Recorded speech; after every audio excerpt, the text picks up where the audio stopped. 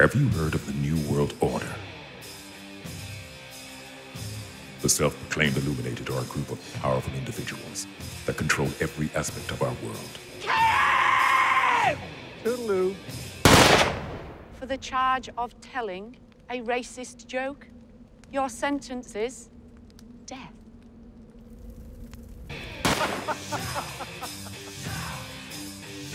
I see now you are a conspiracy theorist. Oh, yeah.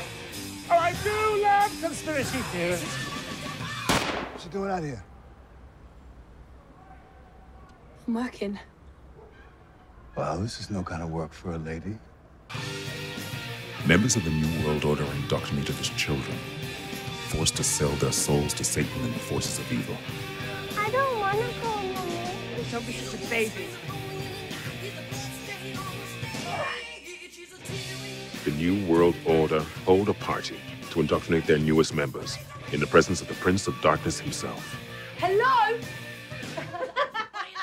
If a member of the New World Order sees the light and decides to leave, they are murdered. Their souls captured by Satan and tortured till the end of days and beyond.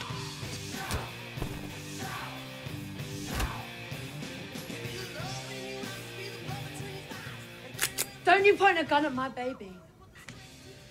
Now you've gone and upset my wife.